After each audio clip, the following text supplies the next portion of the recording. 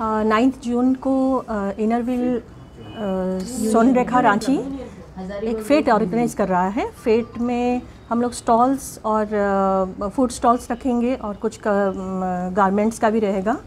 और बच्चों का डांस कंपटीशन भी रख रहे हैं। ये सारे हम लोग एक्चुअली रख रहे हैं फेट फंड रेस के लिए।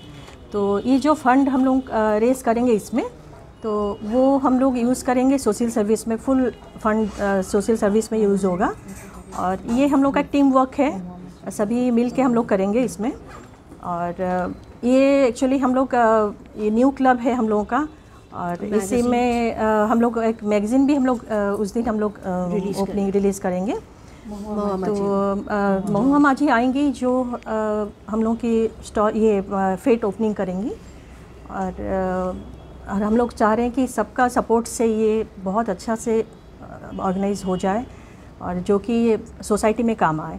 और हम लोग सोसाइटी के लिए अलग अलग टाइप का हर मतलब कोशिश करते हैं कि हर टाइप का हम लोग काम कर सकें। ब्लड डोनेशन कैंप्स भी करते हैं। उसमें आ, सब ऑर्गेनाइज करके हम लोग काफ़ी अभी अभी दो बार हम लोग कर चुके हैं। एक बार तो 38 यूनिट्स हुआ था और एक हम लोग रोटरी के थ्रू से किए थे। तो ये ऑर्गेनाइजेशन में हम लोग वुमेंस के लिए करते हैं और नारी निकेतन में हम लोग उसमें भी हम लोग सिखाए थे जो दिया मेकिंग सिखाए थे दिवाली में काम आएगा इसीलिए। और फिर हम लोग बच्चों के लिए जो रेस्क्यू बच्चे रहते हैं उन लोगों के लिए भी हम लोग हेल्प करते हैं। जो पॉसिबल होता है वो योगा सिखाते हैं उन लोगों का मेंटल स्ट्रेस कम करने के लिए। और जो भी जो डिमांड करते हैं वेंडिंग मशीन हम लोग भी डोनेट करते हैं। स्कूल में हम लोग दिए हैं गर्ल चाइल्ड के लिए। ये इनरव्हील तो पहले से संस्था चली स्वर्ण रेखा नाम जोड़ के नया बना है। क्या एम लेकर चली हैं आप? ये हम लोग एक्चुअली सोशल सर्विस है। ये फुल्ली सोशल सर्विस है। इसमें और कोई हम लोग एम नहीं रखते हैं। क्योंकि हाँ ये है कि हम लोग एक ग्रुप हैं तो टीम वर्क है, सबको लेके हम लोग को चलना पड़ता है।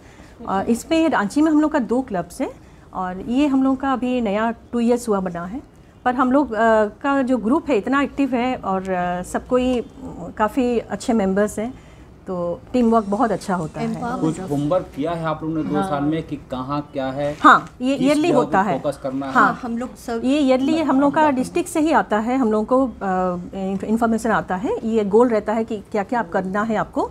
तो हम लोग टारगेट करते हैं जैसे कि स्कूल्स में क्या कर सकते हैं।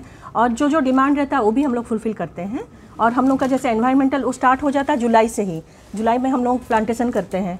प्लांटेशन से ही स्टार्ट होता है। उसके बाद जो जो ब्लड डोनेशन कैंप वो भी एक टारगेट रहता है क्योंकि सबको हेल्प मिलता है उसमें भी। और फिर हम लोग जैसे आई कैंप होता है बहुत सारा चीज़ है जो हम लोग को पहले से इंस्ट्रक्शन आता है। मंथली वाइज हम लोग को इंस्ट्रक्शन किया जाता है कि ये ये आपको करना है प्रोजेक्ट्स और उसमें जो पॉसिबल होता है वो कर पाते हैं ठीक है? नहीं होता है तो फिर हम लोग उसको स्किप करते हैं फिर दूसरा तो जो फेट होने कितनी राशि की उम्मीद कर रही कि उससे आ जाएगा?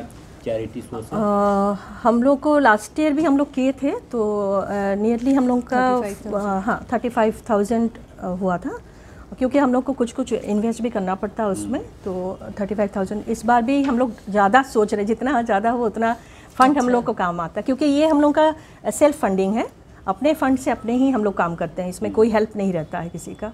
मतलब और आ, कोई भी जैसे कि हम लोगों को स्पॉन्सरशिप मिल जाए तो बहुत अच्छा है उसमें वो भी हम लोग कोशिश करते हैं कोई स्पॉन्सर करे काम तो वो भी आ, बहुत फ़ायदा करता है हम लोग के लिए।